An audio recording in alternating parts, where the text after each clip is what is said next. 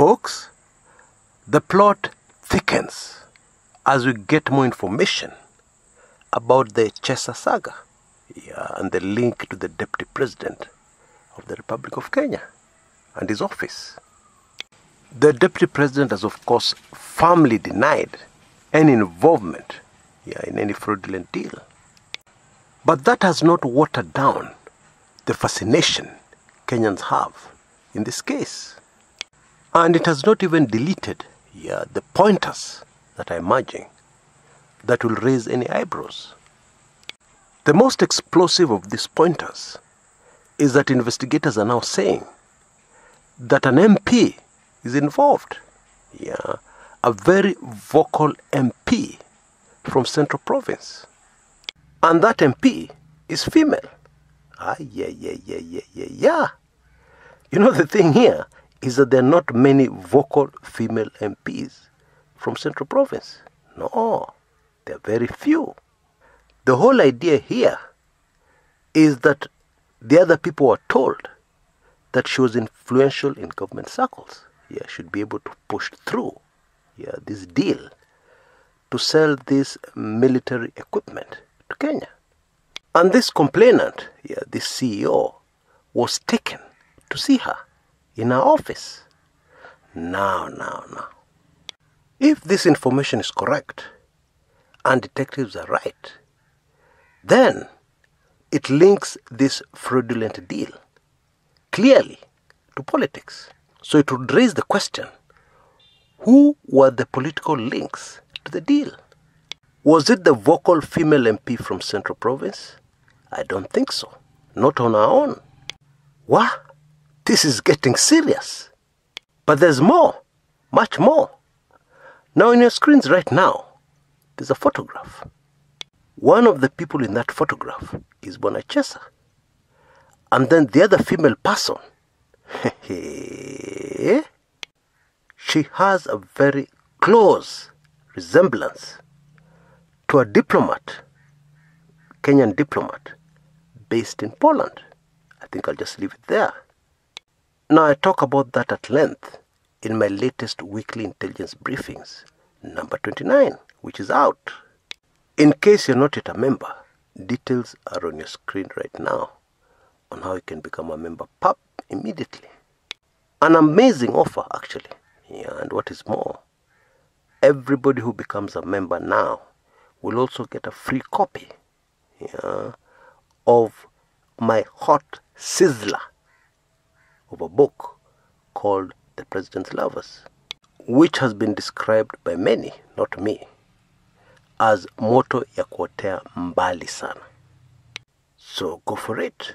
Of course, if you're already a member, you can also get the same uh, ebook. If you don't have it already, by sending a blank email to that email address you see on your screens now.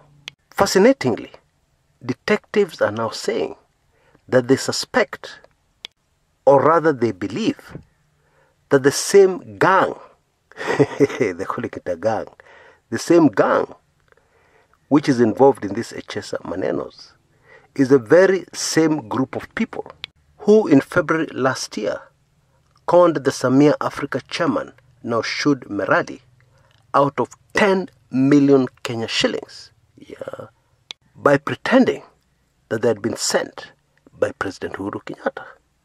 What? Now, the whole scheme appears to have been very sophisticated, apart from visiting the Member of Parliament. Mr. Stanley Kozlowski, yeah, the complainant, CEO of the company Eco Advanced Technologies, which is the company that was made to believe that they were actually selling military equipment to the government of Kenya, and not some conmen who wanted to get money out of them. Mr. Kozlowski says he was introduced to General Juma, a man who was dressed in full military attire. Yeah, and he had very serious security around him. And in the two meetings he had with this General Juma, General Juma arrived in a fleet of military vehicles with military registration numbers. Ah, yeah, yeah, yeah, yeah, yeah, yeah, yeah. You know, that raises another very nagging question. Where did this General Juma, who's obviously not in the military, get access to these military vehicles belonging to the Kenya Defense Forces? Where? How? now, according to detectives, yeah, this fake General Juma is in fact a person who used to work for the Kenya Police Service, a former corporal, and is one of the people who was arrested along with Rashid Echesa, yeah, and has appeared in court. Now, according to me, this is getting very messy and very worrying. And I will tell you what is really worrying. To pull off some of these things yeah, that went down yeah, in this fraudulent deal, you would need to be a very high ranking member of the Kenyan government. You'd need to be very powerful indeed to be able to pull off yeah, some of the things described here. Yeah, like get somebody in a military vehicle with a convoy of military vehicles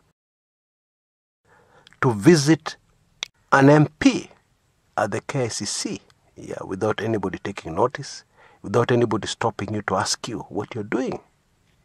Bottom line, it took a lot to be able to convince Bwana Kozlowski that this was a genuine deal, that he was actually getting a contract from the government of Kenya. And you will agree with me, not just anybody can be able to do that. No. In other words, there is no way Bwana Echesa could have been working alone. No. There's another big heavyweight, a big name, yeah, behind all this. So who is it? It seems that investigators may not know, yeah, who it is yet. Although my suspicion is that they do. But they have still not been able to gather enough information to arrest that person.